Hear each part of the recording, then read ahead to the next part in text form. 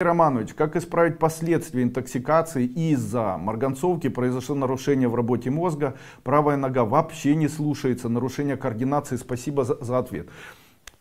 Сейчас мы живем во время, это май-июнь, и это время уникальное. Существует растение, которое мы, которое мы не видим.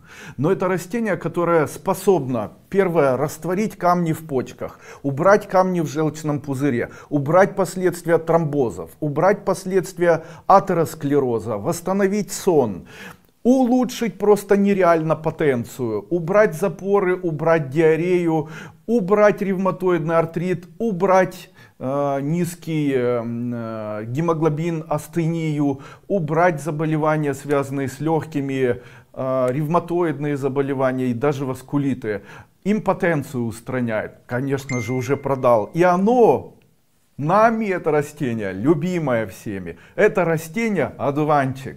Дело в том, что если взять сейчас и сделать, как я вас научу, то вы растворите камни в почках, в желчном пузыре, уберете проблемы, которые связаны с миомами, с узлами всевозможными, даже грудь мастопатию то лечит. Уникальное растение, но одна из особенностей заключается вот в чем. Необходимо каждый день съедать один два или три цветочка.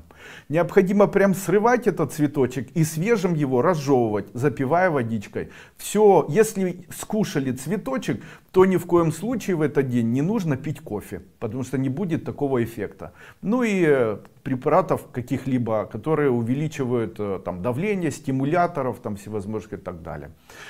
Но в случае, если начать каждый день съедать один, два или три цветочка, разжевывая, запивая водой, они должны быть сладенькие такие, то это вылечивает, очищает почки, очищает печень, очищает, убирает тромбозы сосудов, которые возникают на фоне там, инсульта или каких-либо вот таких интоксикаций, устраняет интоксикации.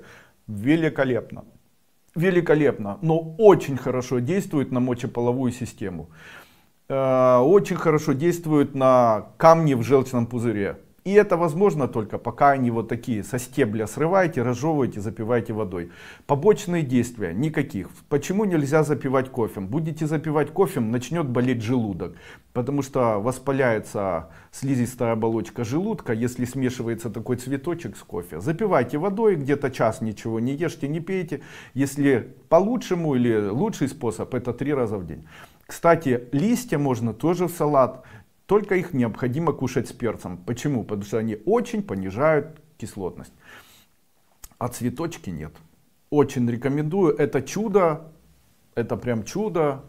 И корень, кстати, корень одуванчика лечит заикание, а также устраняет проблемы с импотенцией. Тоже великолепное средство. Если пить корень одуванчика высушенный, то лечит ногти. Прикладывая, можно убрать экземы, псориазы. Умываясь настойкой такой, можно полечить кожу. Великолепное средство. Рецепт такой. Одна столовая ложка измельченных корней одуванчика смешивается с одной столовой ложкой сушеного лаврового листа, заваривается 1 столовая ложка этой смеси на, 1, на 2 стакана пол-литра воды кипятка. Когда остывается, то во время того, когда будете принимать душ, обмывайтесь. Делает кожу белой, убирает э, заболевания кожи, фурункулезы всевозможные и так далее. Если волосы мыть, то устраняет выпадение волос, лапецы и так далее. Великолепно.